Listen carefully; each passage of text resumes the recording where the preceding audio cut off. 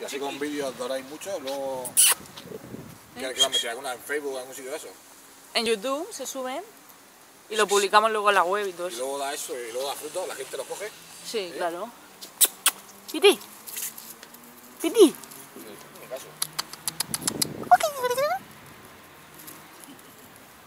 Piti.